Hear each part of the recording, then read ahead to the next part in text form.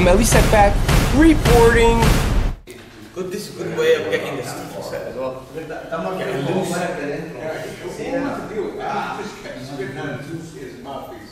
You know what's crazy? Some fighters love running. Some fighters hate it because they get bored. That's why they play soccer or basketball. What? I need music. You need music?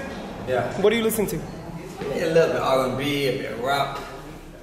Uh, what I've started to do now is I've started to um, go to our own mind, go into my own zone and listen to the Quran.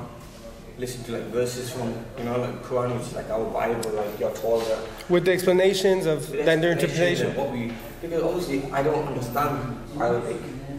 I, I, I sometimes um, know, and I've heard the words before, but I need to know what they mean. So I've started to listen to the Quran in English so we know what we what we listen to. And you know, it's all about religion. What religions are about peace, loving, caring. I think that so many people take it take it the wrong way and disrespect the religion and make it sound evil and bad. So I want to get to know about the religion myself and what what I'm listening to and what I'm reading. So it's nice now to know uh, you know, religion is about peace and loving each other and being there for one another. It's not about war, it's not about fighting. So I like to do that when I'm when I'm running, you know, I like to go own zone.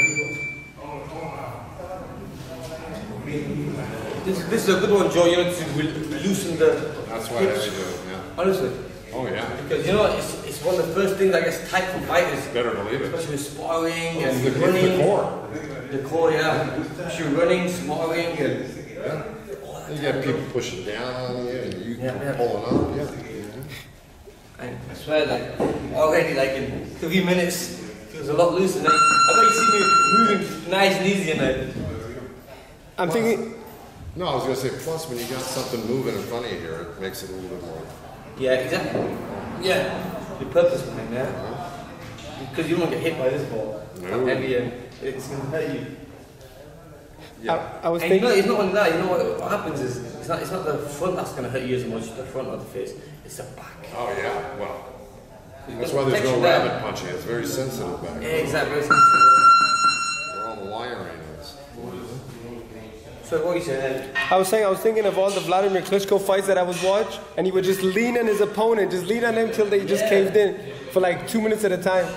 So if they would have done this, they would have done better, because their core just couldn't take the Yeah, pressure. exa- Exactly. You're just loosening all this area.